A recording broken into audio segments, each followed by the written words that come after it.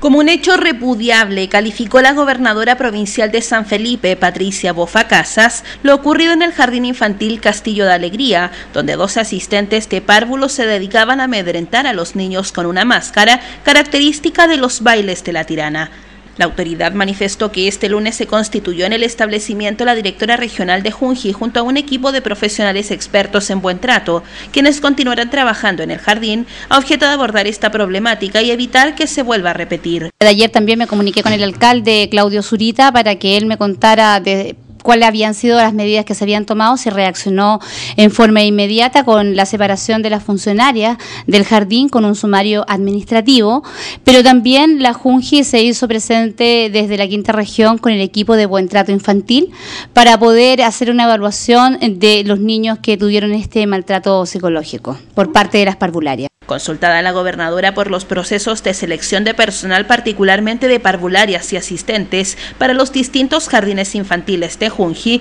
señaló que de acuerdo a los antecedentes que ella maneja, existe un procedimiento que se desarrolla que contempla exámenes psicológicos que se toman a las postulantes. No me cabe duda que debieran tener un, eh, un, examen psicológico para poder ver si ellas están preparadas para poder trabajar con niños. Son niños muy pequeños y esto realmente genera un problema. Así es que nosotros como gobierno y como representante del presidente repudiamos completamente este hecho que se ha presentado en este jardín eh, infantil de la comuna de Santa María porque enloda todo un trabajo que está haciendo la Junji.